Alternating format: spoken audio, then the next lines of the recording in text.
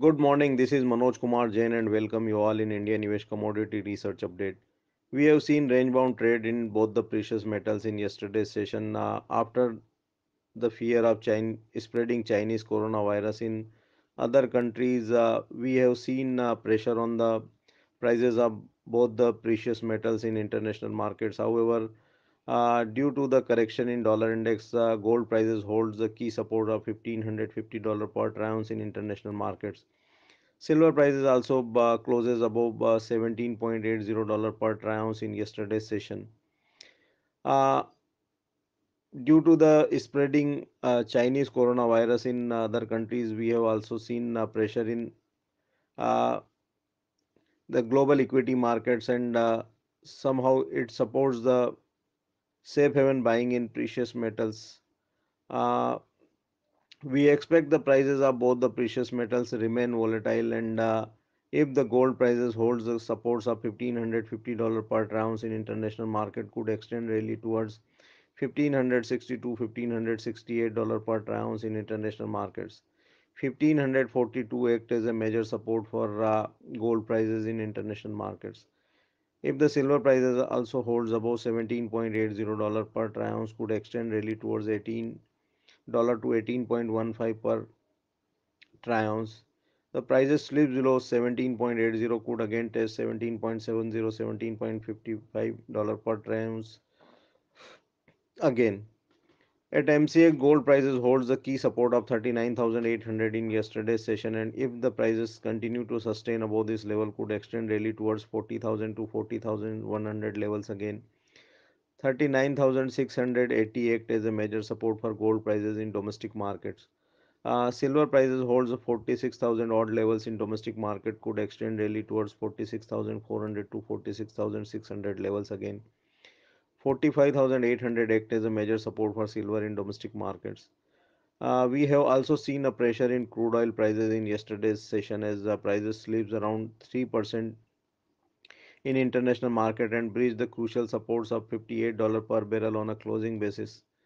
Uh, we expect the prices uh, remain in pressure and could test the $55 per barrel in international market in uh, in coming trading sessions.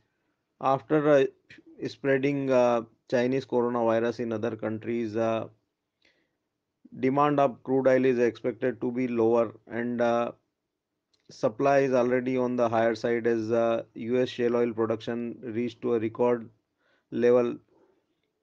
US is producing around 13 million barrel per day and which is at a record level. Uh, as per the latest report, if the Chinese coronavirus spreads in other countries, it could uh,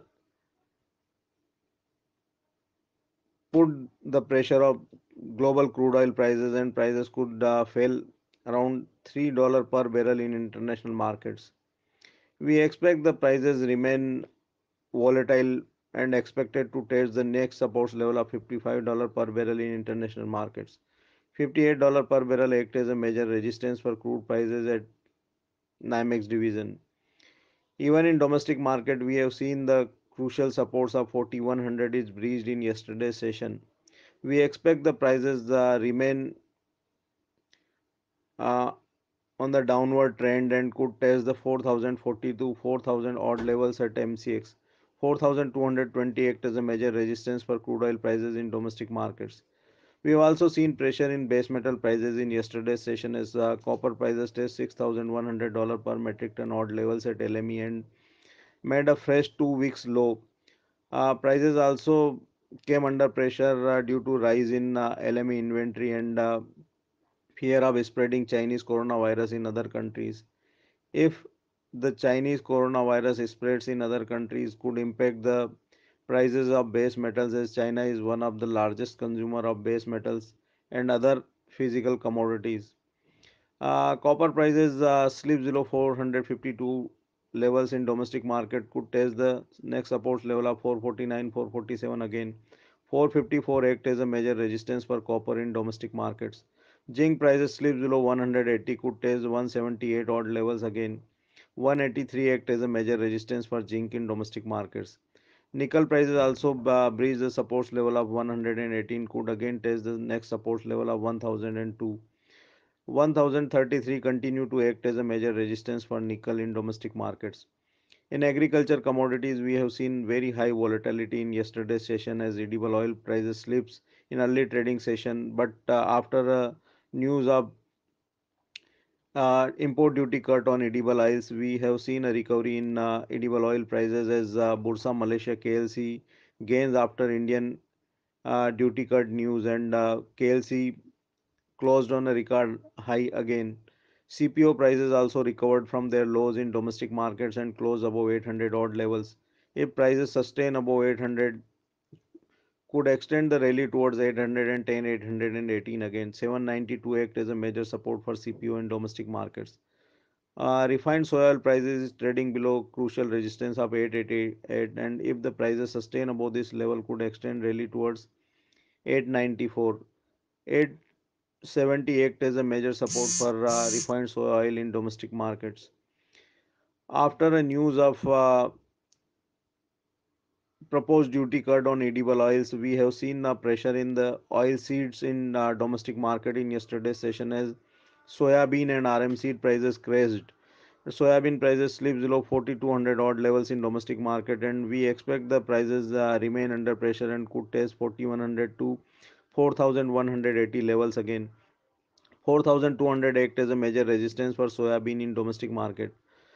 RM seed April contract could also test the next supports level of 4040 to 4000 at incoming trading sessions. 4200 act as a major resistance for RM seed in domestic markets.